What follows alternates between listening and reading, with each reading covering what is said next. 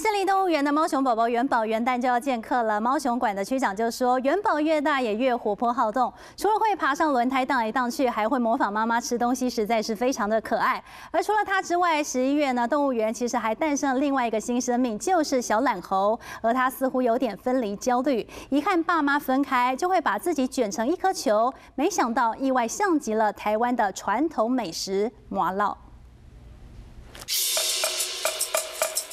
一团棕色毛球圆滚滚停在漆架上，一动也不动，好像可以撒点芝麻变身。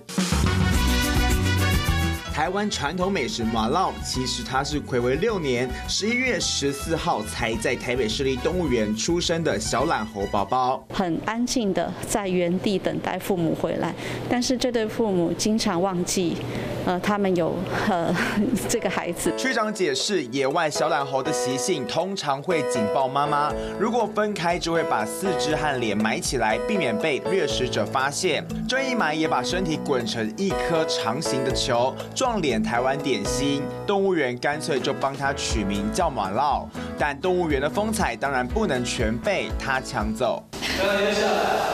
小毛熊元宝试着要爬上轮胎，难道是为了一月一号要见客表演吊环体操吗？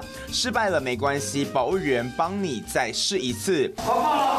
成功爬上去，荡来荡去，玩得好开心，甚至还趴在墙上演飞檐走壁。以元宝现在的年龄呢，他还没有开始吃固体食物，但是他对于妈妈在吃什么呢，会感到非常好奇。红萝卜，还有我们给他的妈妈的窝窝头，这些等于是说能量饲料，他会很有兴趣的去做啃咬。元宝越长越大，也活泼好动，明年见客想必一定是大明星。